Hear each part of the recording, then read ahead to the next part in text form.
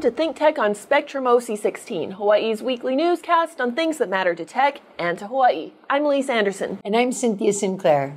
This week, we'll look at the 2019 U.S. Hong Kong China Forum presented by the Hong Kong Business Association of Hawaii at the Laniakea YWCA. It featured an array of business speakers and panels examining the business climate and prospects in Hong Kong, China, and Hawaii. Everyone knows that prosperity is enhanced by trade. This has been proven over the centuries.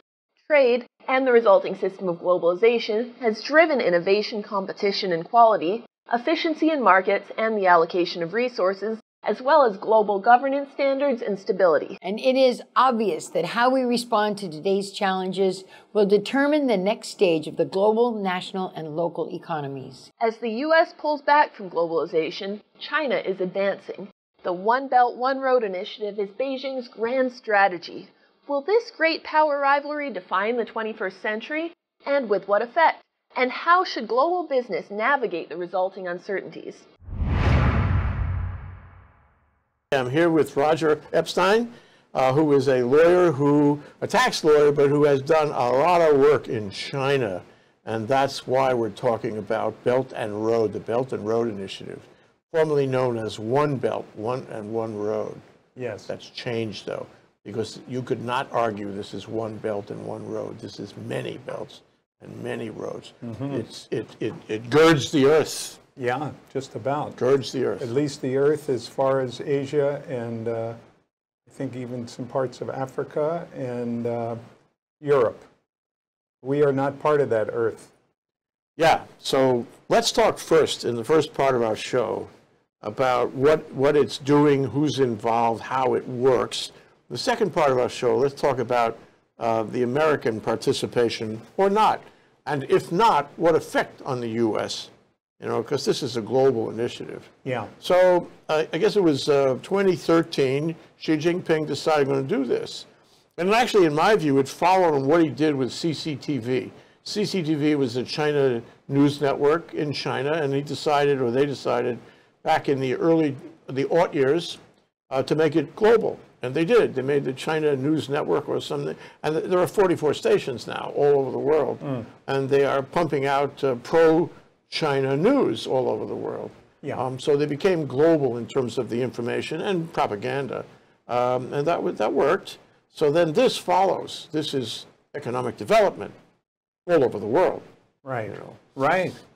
Oh, yes. And, and uh, the, the, the overall picture is here's places where there isn't adequate infrastructure, either by land, autos, rail, trucking, uh, or by sea, which is the road. So uh, maritime. So the, the grand scheme of the Chinese is to uh, lend money and uh, build out the infrastructure in all these different countries so that you uh, recapture the Silk Road, the old Silk Road from China to across Europe. And uh, uh, very, very incredibly big uh, undertaking. And in my mind, very thoughtful, as I think the Chinese are in, in economic matters. To me, China sees the United States as where they want to be. Now, things are definitely changing. And uh, the Trump administration has decided uh, what's in it for us? We need to protect ourselves. I think that's exactly where you don't want to be as the world changes. You want to be part of the change. Uh, uh, talking about the Belt and Road, we had a competing kind of uh, project uh, with uh, many of the leading, the, the, the larger, more established uh, capitalist countries over there called the Trans-Pacific Partnership. Mm. Uncle Donald got us out of that. So now we don't even have, we don't have anything. And some of those players are trying to reform the, the Trans-Pacific Partnership. Some of them are talking to China. Certainly, uh, we're out of it. With these profound changes in the global economy, the world needs a new convening platform to reflect and engage the competitive positions of emerging economies to address the future of public and private partnerships and to identify solutions for cross border issues that affect us all. In the program at Laniakea, the Hong Kong Business Association of Hawaii brought its flagship conference back to Honolulu to address a range of topics, including economics, trade, investment, urbanization, infrastructure, retail, technology, entrepreneurship, and of course, U.S. China relations. As you know, you saw the TV all the time about the China and U.S. trade had conflict. Yeah, so people call it trade war, but I don't want to call it trade war, but it's a conflict. So um, back and forth, and I thought this put us, uh, a, a U.S. resident or, or, or businessman, um, it, it's just in a very odd po position.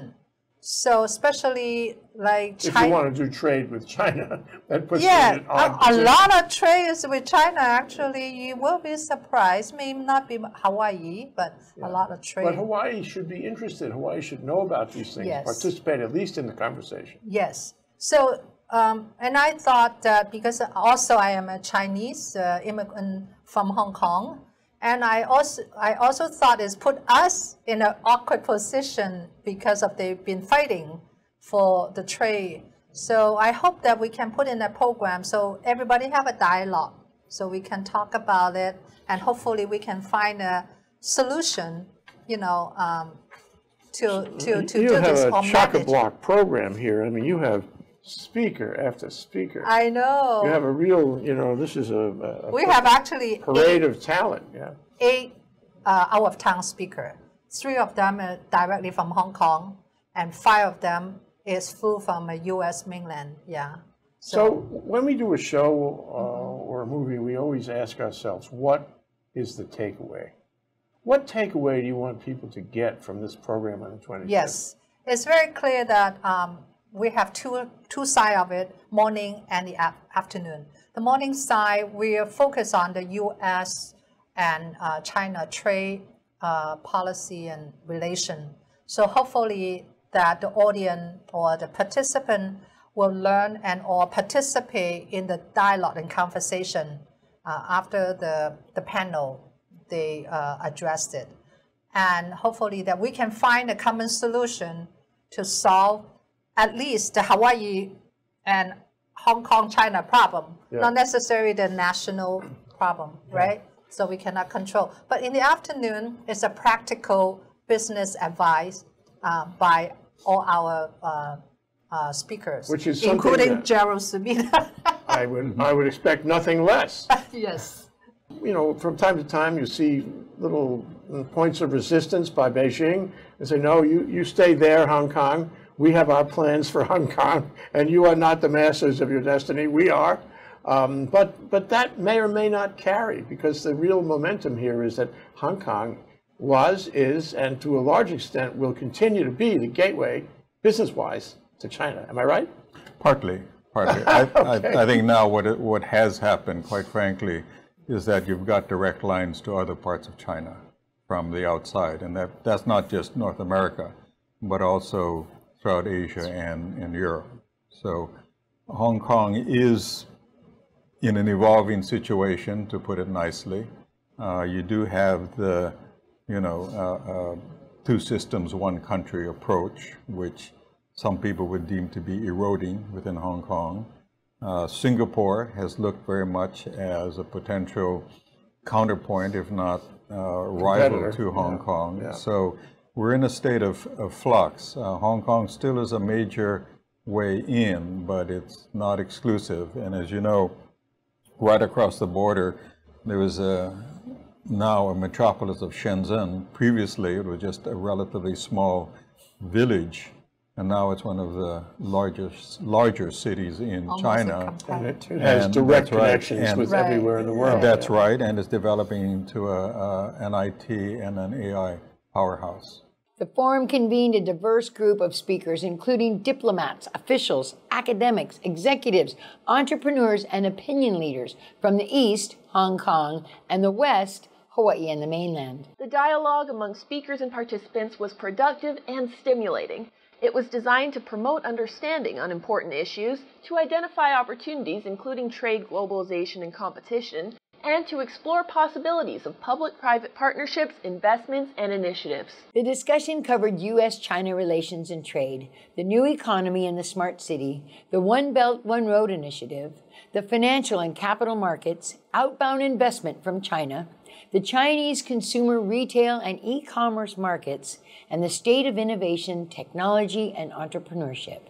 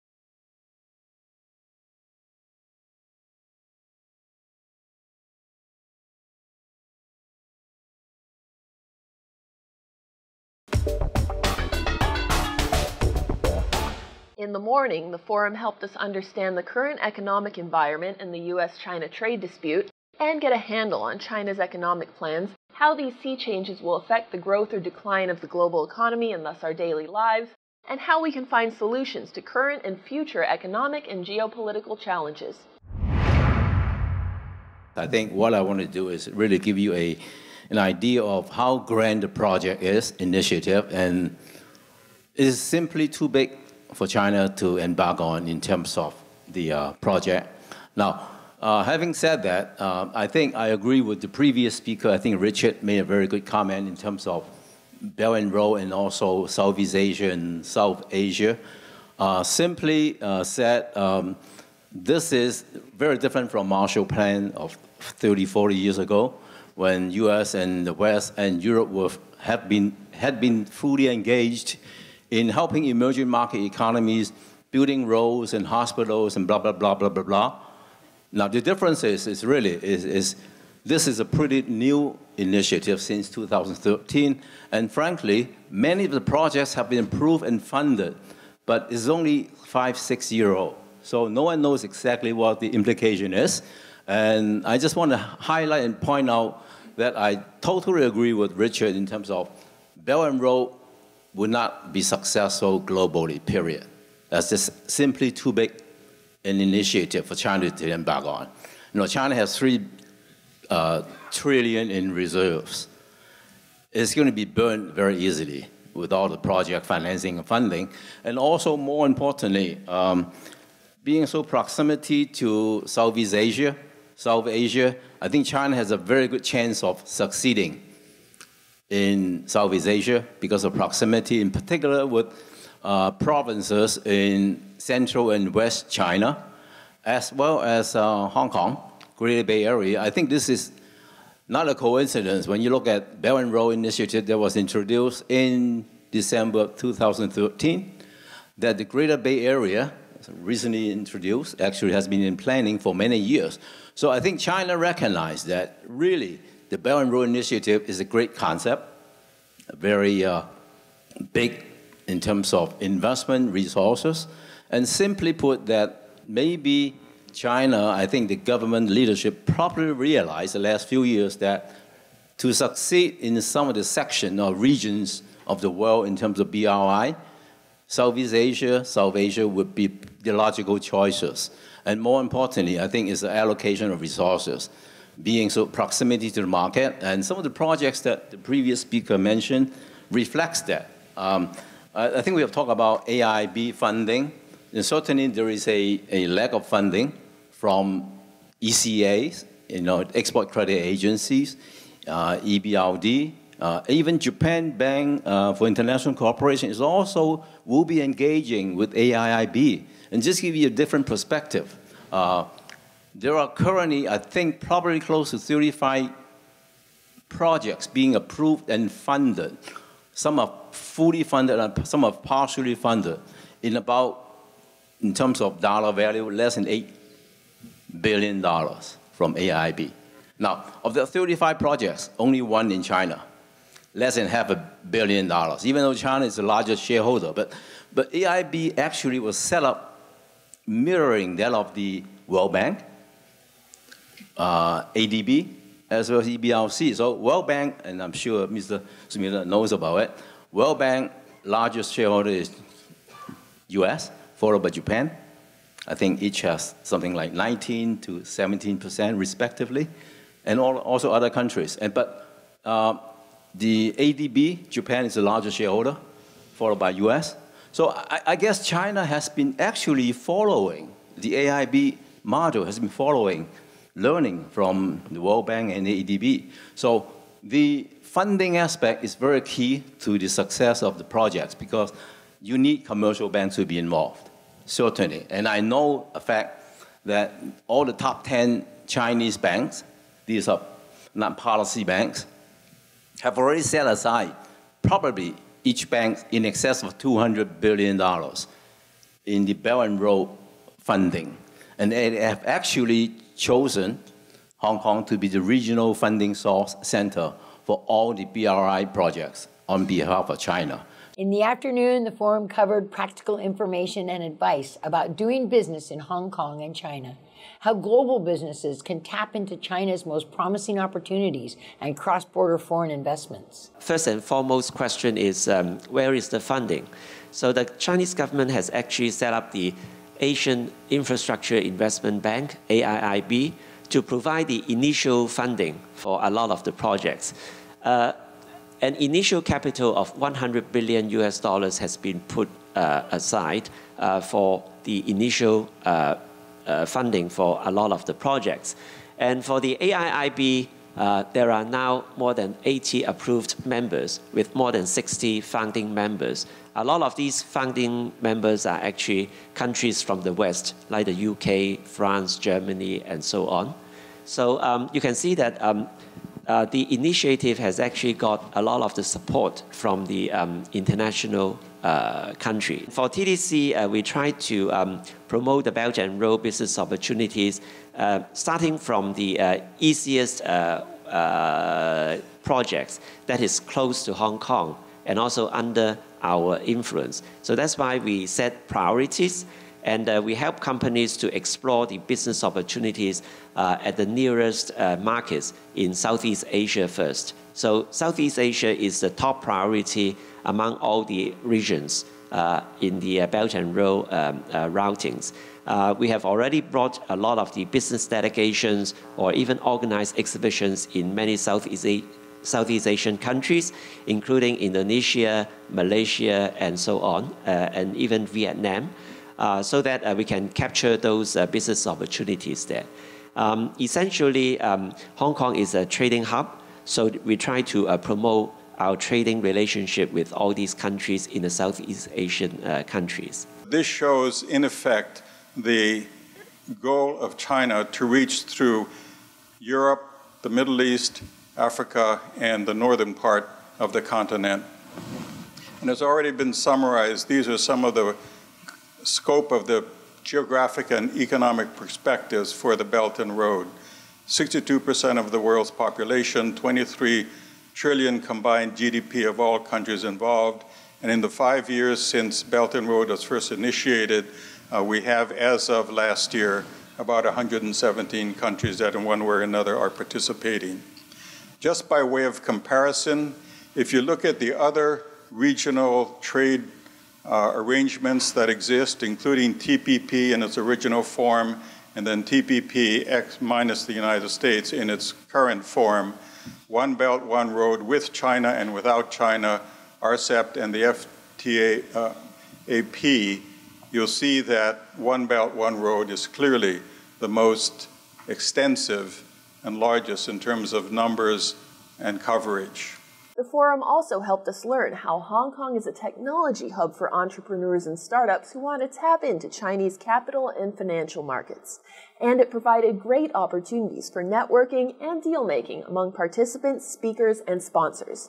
I think today everyone comes over here to look for business opportunities. And that's why um, we try to promote the uh, Belt and Road Initiative because we think that you can all share the business opportunities arising from the initiative. Well, basically, as Jay mentioned, uh, the Belt and Road Initiative uh, doesn't consist of only one belt or one road. Uh, the belt actually means the um, Silk Road economic belt, and the uh, road uh, is a little bit misleading because it actually means the 21st century maritime Silk Road. It's the uh, maritime routing instead of land routing. Um, so um, it actually consists of a lot of um, routings. But then um, I think for the time being, we don't need to bother about uh, the exact location or the exact, exact uh, pathways of the uh, Belt and Road. We just look for the uh, business opportunities arising from the Belt and Road Initiative. As Jay mentioned, uh, it is a very important initiative because it is a major globalization project initiated by the Chinese government. But the intention of the Chinese government is for everyone to participate so that everyone can share the opportunities arising from this initiative. Because China alone cannot take up all the projects. It's such a huge project, it may last for a few generations. So it's not just for our generation to enjoy the benefits, but it's for our children, even for our grandchildren to uh, continue the um, uh, effort in order to um, bring it to fruition and to have the um, final uh, result of this uh, globalization process. Want to know more about the Hong Kong Business Association of Hawaii? Check it out at hkbah.org or facebook.com slash hkbah.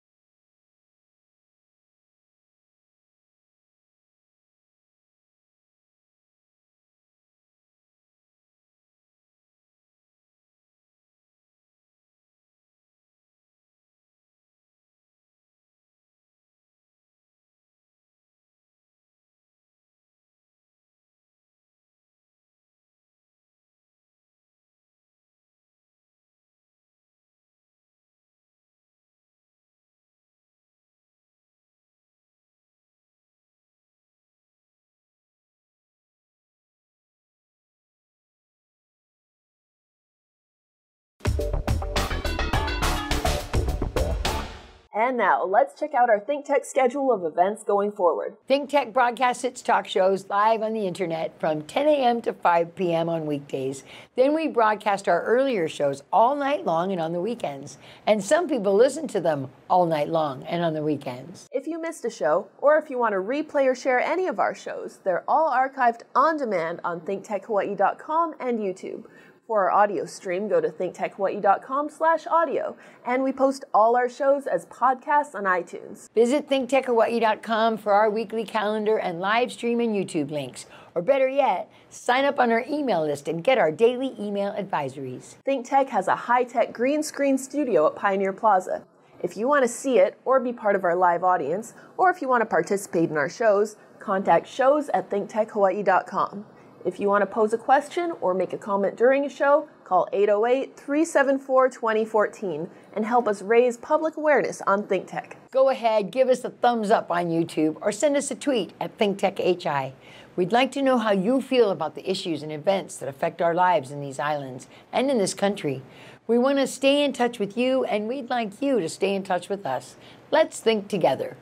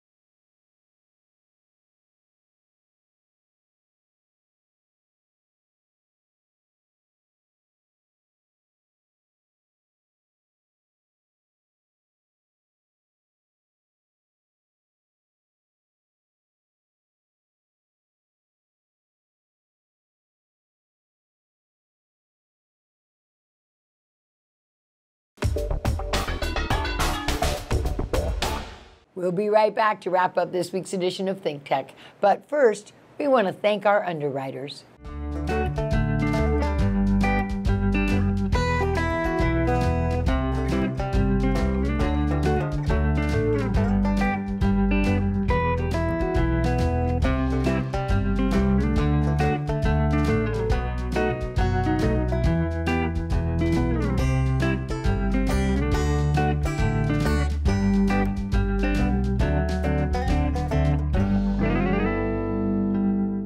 Okay, Cynthia, that wraps up this week's edition of ThinkTech. Remember, you can watch ThinkTech on Spectrum OC16 several times every week. Can't get enough of it just like Cynthia does.